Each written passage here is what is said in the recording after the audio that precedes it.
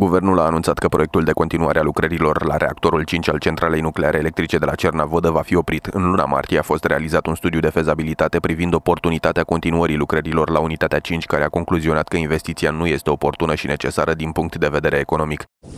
Proiectul Candu 700 a fost realizat la nivelul anilor 1970, estimându-se ca dată de punere în funcțiune a unității 5 anul 2025. Se poate considera că la acea vreme autorizarea va fi practic imposibil, Uniunea Europeană neacceptând decât grupuri energetice nucleare de generații noi 3 și 4, acest proiect fiind de generația 2, se arată într-o notă a Ministerului Economiei.